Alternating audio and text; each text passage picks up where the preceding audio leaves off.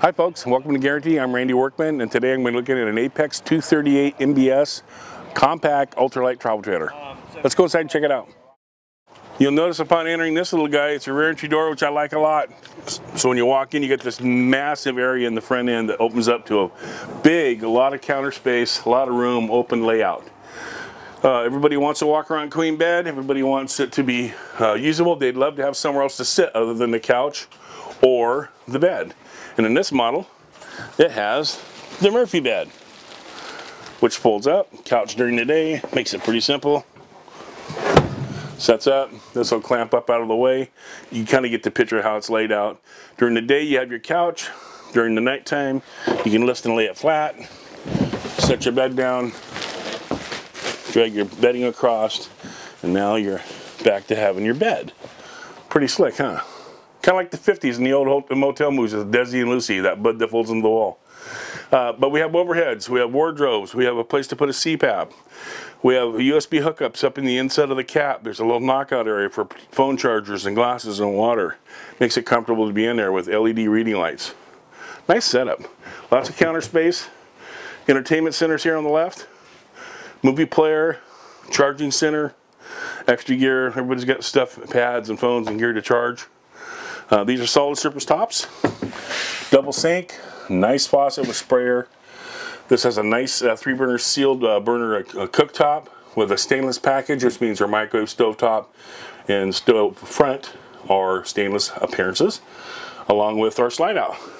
Here's the dinette, makes down into a bed with nice storage underneath window that opens. All these windows are open because you got to cross ventilate these little guys.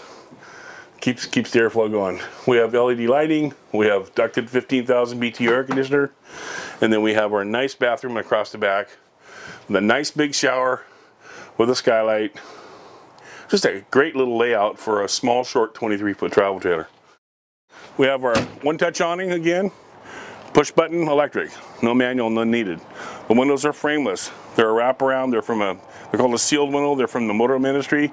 There's no frame around them. They look nice. They're solar tinted. Um, super clean lines. Uh, fiberglass trailers are easy to maintain. You keep them waxed, easy to wash, and they're typically, atypically, an aluminum frame at that point in time. Some are still wood, but a lot of them are the aluminum side, which helps keep the weight down. Uh, our double steps, our leveling jacks across the back, our outside shower,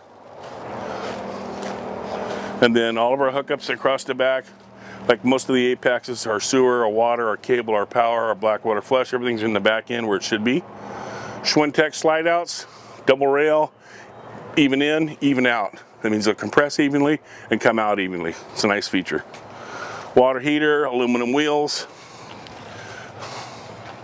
And then we have our pass-through storage, slam latches, magnetic catches, one inch thick doors, and a big giant area across the front for your barbecues, lawn chairs, etc. Then when we get to the front side, uh, we have a nice gel coat cap across the front with built-in LEDs. Place for our two batteries with our two tanks. It does come with a cover, by the way, it's just not on here. Then our big heavy-duty power jack that lifts, there's no more cranking, which makes it nice. So a small 23 foot trailer that's super lightweight, you can tow with about anything in a very small floor plan that allows you to have some flexibility with the couch during the day or a bed at night. Makes it nice. Come on out, I'd be happy to show it to you in person. Look forward to seeing you. Bye-bye.